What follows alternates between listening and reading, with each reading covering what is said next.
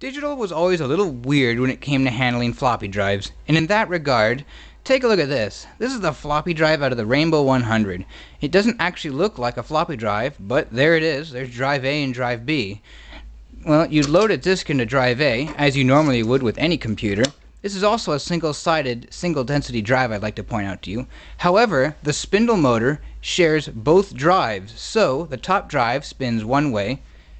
However, if you were to put a disk into drive B, you did not put it the same way that would be sticker facing up. Otherwise, the disk would spin backwards in re relative to the head. So what you had to do was flip the disk upside down. Then it would work. It's so strange, and it's a good thing that only DEC did this.